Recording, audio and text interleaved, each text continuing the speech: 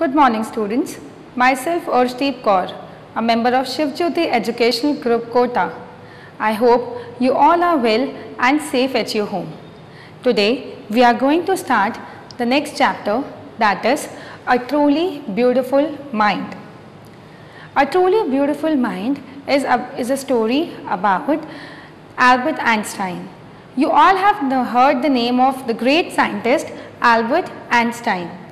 In this story, there is a short biography on him on which, in which some of the qualities are being explained like his interest in mathematics, physics and his humanistic nature has also been highlighted over here. So, we are going to see that what all things are being taught to you. Students, I request you all for better understanding, kindly open your NCERT book Beehive and come to page number 46 of it. And now we shall start the chapter. Albert Einstein was born on 14 March 1879 in the German city of Ulm. Unlike other kids, he picked up talking quite late at the age of two and a half years. Now the story begins like they are telling you about the childhood, how the childhood of Einstein was there. Einstein has gone, gone to school and what all things he has done. But before that they have given you a glimpse of it that when he was small, he didn't started speaking like other kids. He started speaking very late by the age of two and a half years.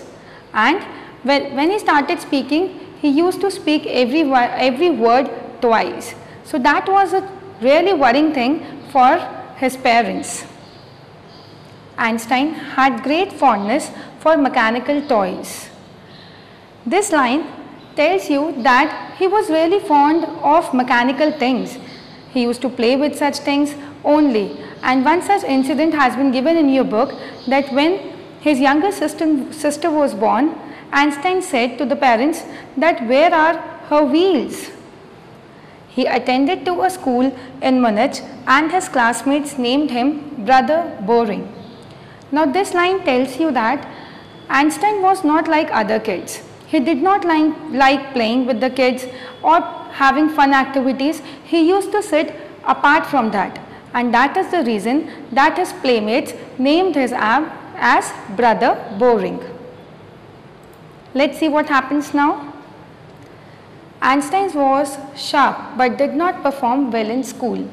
He disliked the regimentation of school and often got into arguments with his teachers. Now this incident tells you about his school life that when Einstein was there in school at that time what happened actually that he was not so good in studies. He was having interest in certain subjects also but he was totally against the system of grading. He assumed that this system is not good and students should be taught only the subjects in which they have interest. So this reason was there that he used to land into a lot of problems with the teachers. Once his headmistress told his father that Einstein won't be successful at anything. This was the incident when the father came over there in the school and the headmistress informed that your son is not good at anything. Whether he do whatever, he would not be successful in life. This made Einstein really upset. At the age of 15, Einstein finally left the school.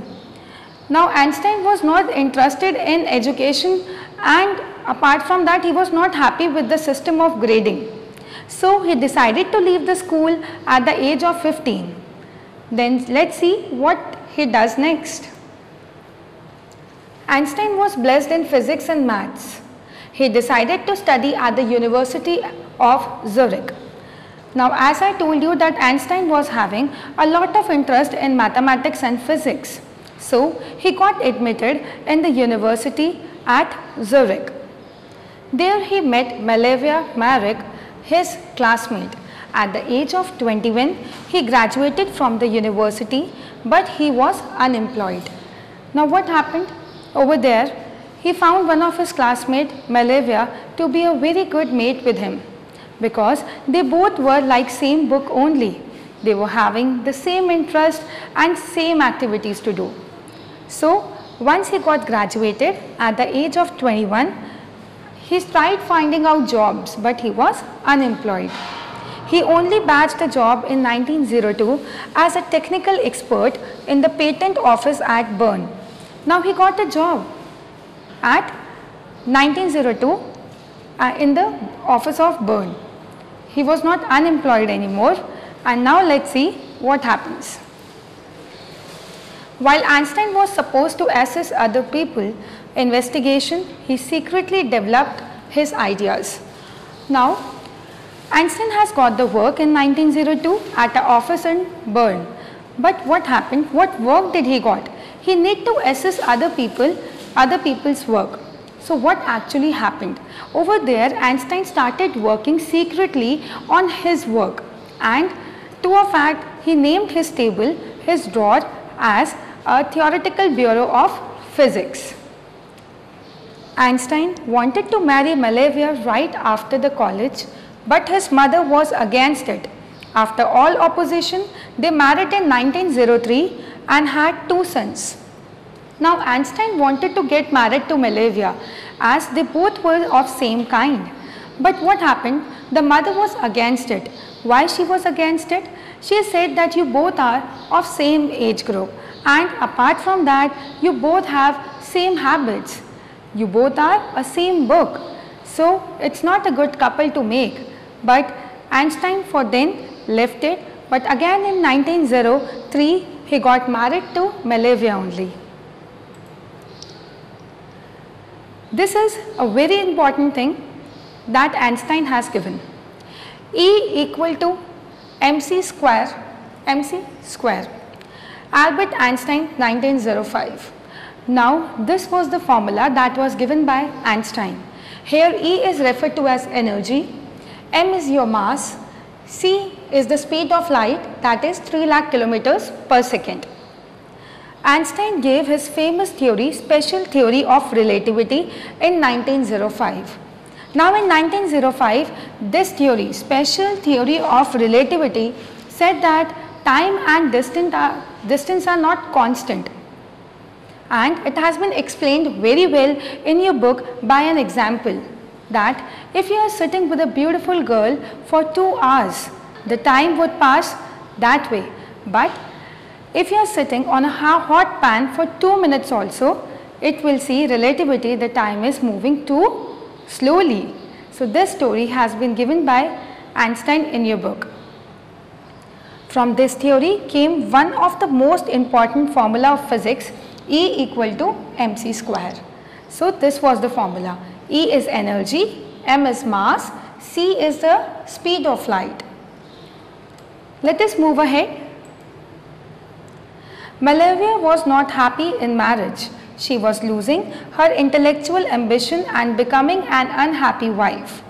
Now Einstein was busy in work. In 1919 after this there was a solar eclipse that proved Einstein, Einstein's theory to be correct. The theory of general relativity. In all such stuff somewhere or the other Einstein's personal life was getting disturbed. Malavia to whom he got married in 1903 their life was not going so good and they both get decided to get divorced. They finally divorced in 1919 and Einstein married his cousin Elsa the same year. Einstein again got married and settled out with his cousin Elsa. In 1921, Einstein received the Nobel Prize in Physics. Now this was a time at where the Einstein was getting a world recognition. He got awarded, he was awarded as Nobel Prize in Physics. When the World War broke out, he warned the authorities against the nuclear bomb. Now here, they are talking about the era in which Nazis started ruling the German countries. And what happened over there? Due to that, Einstein left Germany and he shifted over there in USA. And he came to know about the nuclear fission that was going to happen. And the nuclear fission was being developed in Bern. So, what did he decided? He wrote a letter to the president at that time, Roosevelt, on 2nd August 1939 and he mentioned over there that if such a bomb is being thrown on any of the port, it would destroy the whole area. Even then the United States manufactured the bomb and dropped it on Japanese city of Hiroshima and Nagasaki in August 1945. As I told you that Einstein has warned on 2nd August 1939 by a letter to Roosevelt that you should not use it. But in actual what happened? They again manufactured the bomb and it was through on the cities of Japanese. And this was the place where Einstein got a very bad setback. Einstein was deeply depressed to see the destruction caused by the bomb and began a campaign for peace and democracy. Now Einstein was really upset that because of his information, although his intentions were not like that, but such information has led, uh, has led to a big disaster because of which lots many people life has been gone. So Einstein started with a campaign, he again wrote a letter and he asked for a world government. He advocated over there peace should be there. He advocated non-violence but this was not given much importance over there. Let us come to the critical analysis of the chapter. The author has beautifully brought the life of Einstein to the surface. The way each incident of his life has been described in perfect chronology makes the biography worth reading. So students, as you have seen that in the first stance we have seen the primary age and we have seen that how Einstein grown up and then we came to know about his personal lives, his school, university, his marriage. So there was a perfect chronological things that were arranged and because of this chronological order, it was really worth reading his biography. Also the atomic bomb incident brings to the surface the side of Einstein's character which is generous, humanly and considerate. As I told you that after that atomic bomb incident Einstein had a huge setback and this shows his humanistic qualities over there. In the expert from his biography an absolute justice has been done to his childhood and days of youth. Now from this we came to know that justice has been given to him and the, his childhood things when he was being thrown out of the school just because he would not be able to study but one day nobody knew that this was destined for him and he became such a great scientist. So the justice was given to him. Let us see ahead the theme of the story as the name suggests, the story is about an exceptional mind which came with amazing inventions. The highlighted theme is intelligence of a man which was coupled with his wisdom to make him what he was. Now when he was born, nobody knew what happened, what was going to happen for him. But as the time passed, the things that were destined for him happened. His intelligence came to him, the wisdom came to him and the name he got over there.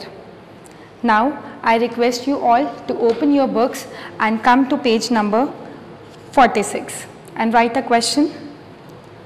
What did Einstein's playmate call him? For this refer the second paragraph.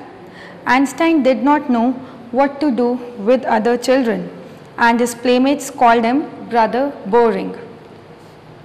Now kindly come to page number 47, third paragraph, write a question. What did the headmaster think about Einstein?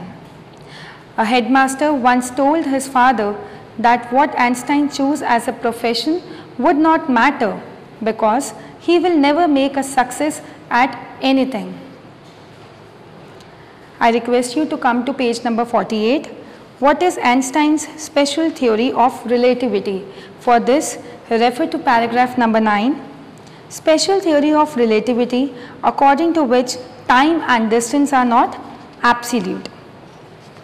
So students, I hope you have understood about how Einstein has gone through many things in life and still he became successful. So, For any queries, you may ask in the doubt sessions. Thank you.